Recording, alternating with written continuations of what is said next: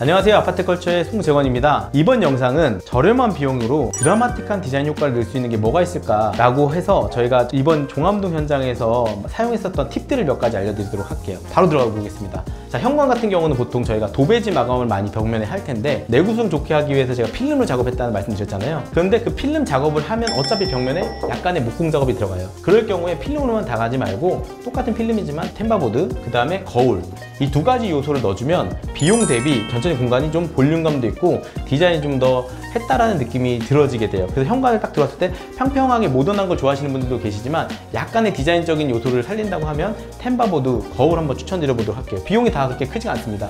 이 tambour board 가격 저희가 올려드릴 거고 이 거울 가격도 올려드리도록 하겠습니다 바로 세 번째는 이제 이런 복도 같은 공간에서 많이 우리가 어, 연출되는 게 바로 도어인데요. 예전에 우리가 hidden door들 막 인기 많았잖아요. hidden door를 하면 이렇게 보시면 벽체가 평평한데 이렇게 보면은 도어가 열리는 거죠. 이런 형태의 디자인을 하려고 하다 보면 보통 벽체에 목공 작업이라고 하는 걸 통해서 벽면 전체를 다 수평 잡는 작업을 하게 돼요. 그러다 보면 비용이 많이 상승하게 되거든요 그것보다는 최소한의 그 어떤 합의점이 바로 9mm 문선입니다. 저희가 가장 많이 하는 것 중에 하나예요. 그래서 9mm 문선으로 최대한 깔끔하게 디자인 연출을 해줘서 멀리서 봤을 때 이 복도가 이렇게 최대한 평평하게 조금 더 뒤로 살짝 가보시면 느껴지는 게 이 공간 자체가 그 9mm만 살짝 튀어나와 있기 때문에 공간 자체가 굉장히 깔끔하게 보여진다는 걸 알 수가 있어요. 그래서 이 9mm 문선 몰딩 같은 경우도 실제 도어를 교체하는 비용 플러스 한 10에서 15만 원 정도 비용만 주면은 연출할 수 있거든요. 이런 것도 가격 대비 굉장히 극적인 디자인을 보여줄 수 있다는 거 참고하시면 좋을 것 같아요. 그리고 바로 필름 작업입니다 필름 작업 같은 경우는 지금 제가 서 있는 기준으로 해서요.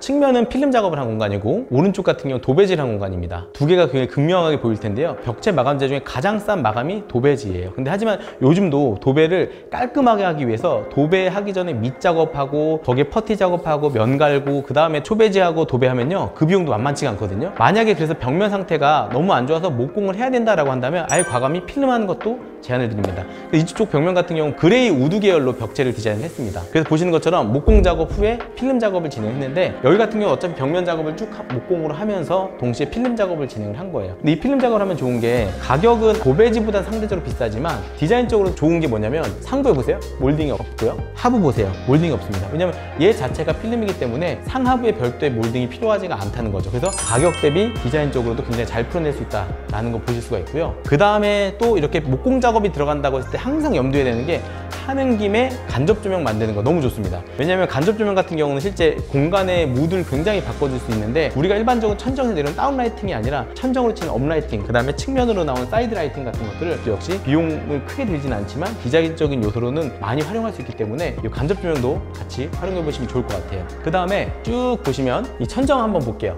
이게 실링팬이라고 하는 건데 요즘도 많이 써요. 거실에 왔을 때 실링팬이 하나 있다는 것만으로도 약간 이국적인 느낌이 나지 않나요? 근데 여기 같은 경우 어차피 조명이 들어가야 될 공간인데 그 공간에 실링팬으로 공기 순환도 시키고 어떤 디자인적인 요소도 같이 가져간다고 하면 이런 부분도 가격 대비 드라마틱한 디자인 요소가 되지 않을까 싶습니다. 그 다음이 바로 그 공간을 그대로 보시면 바로 바닥재입니다. 올고다라고 하는 제품에서 나온 강마루인데요. 패턴 자체가 넓고 큼지막하기 때문에 얼핏 보면은 타일을 깔았다는 느낌이 연출이 돼요. 내구성도 좋고 시공도 용이하기 때문에 이런 부분 같은 경우는 강마루보다 가격이 평당 한 만 원에서 2만 원 정도밖에 더 차이가 안 나거든요. 그래서 이런 바닥 마감재를 통해서도 전체적인 공간을 좀 더 버라이어티하게 연출할 수 있다는 걸 봐주시면 좋을 것 같고 그 다음에 이렇게 제작 가구가 들어가는 포인트가 있는 곳에서는 다 수납으로만 할 수도 있긴 하지만 여기 같은 경우는 저희가 오픈장이라고 해서 이렇게 오픈된 공간 하나 만들잖아요. 그럼 이런 요소 하나가 어떤 전체적으로 모던한 느낌보다도 조금 더 이 공간 잘 연출했다라는 걸 보여줄 수 있다라고 생각을 하거든요. 그래서 제작 가구 만들 때도 약간 디자인적인 요소를 넣을 수 있다. 오로지 수납, 뭐 서랍 여닫이로만 아니라 이런 공간을 만들 수 있다는 거 참고하시면 좋을 것 같아요. 비용도 일반 수납하는 것보다는 조금 더 들어요. 왜냐하면 이게 다 가구재로 들어가야 되기 때문에 비용이 보통 20에 30만 정도 들어가긴 하는데 어떤 디자인적 포인트로는 도움이 된다는 거 보실 수 있습니다. 욕실에서도 적은 비용으로 디자인을 좀 더 드라마틱하게 할 수 있는 요소가 여러 가지가 있는데 대표적인 게 바로 이 세면대입니다. 저희 같은 경우 이번에 이케아 제품을 사용을 했는데요 이케아는 아시다시피 가성비 되게 좋은 제품이잖아요. 가성비만 좋은 게 아니라 보시는 것처럼 수납도 굉장히 많이 된다는 걸 볼 수가 있어요.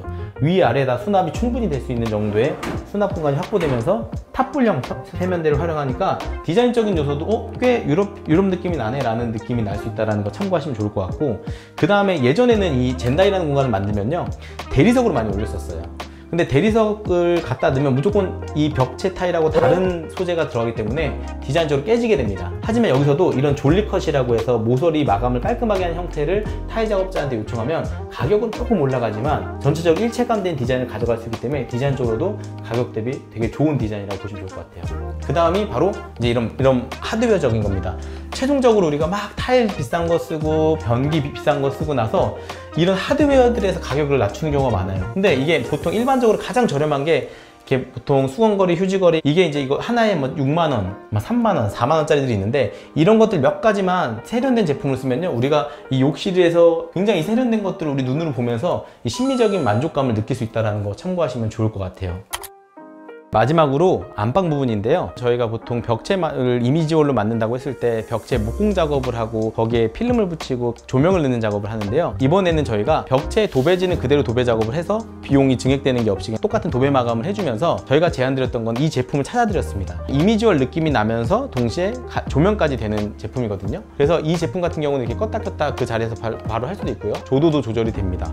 그리고 무엇보다 공간 이동할 때 같이 이동을 할 수가 있어요. 그래서 저희가 뭐 인테리어적으로 이렇게 이렇게 하는 게 매번 좋습니다라는 것보다는 저희도 연구를 많이 하는 게 꼭 인테리어적으로 목공이나 이렇게 현장에서 풀어나가는 게 아니라 이런 제품들로도 공간을 디자인적으로 풀어나갈 수 있다. 그럼 이거를 우리가 목공 작업을 하고 전선 배선 작업하고 조명을 해서 이런 공간을 만들었을 때 비용보다 실제 이 프레임을 하나 사는 게 가격이 훨씬 저렴합니다. 그래서 비용은 많이 들지 않으면서도 역시 디자인적으로 내가 이미지홀 같은 느낌과 조명을 연출할 수 있다. 이거는 굉장히 큰 장점이 아닐까 싶습니다. 근데 이번 영상을 통해서 인테리어 하신다고 했을 때 예산은 누구나 다 한정되어 있긴 하잖아요. 근데 그 한정된 예산 안에서도 조그만의 그 틈들을 조금 더 이렇게 늘려가지고 공간을 좀 더 드라마틱하고 멋있는 공간을 만들면 어떨까요? 한번 이 영상 참고하셔서 좋은 공간 만들어 보시기 바랍니다. 감사합니다.